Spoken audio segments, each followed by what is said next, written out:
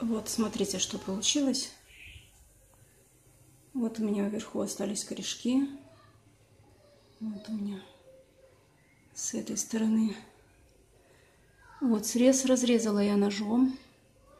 Сейчас я дам немножко ей подсохнуть, и этот срез я присыплю углем активированным.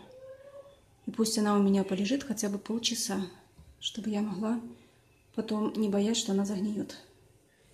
Вот. Мы ее положим пока. А вот у меня корешок остался нижний. Вот у меня тоже такие вот корни. В прошлый раз, когда я делила корневищем, корней было очень мало. Но вот из этих вот пазух, вот видите, еще и молодой корешочек лезет.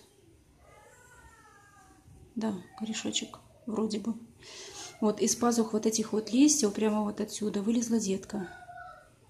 Я вам сейчас покажу. Ей сейчас уже два, почти два года. Вот сейчас будем садить.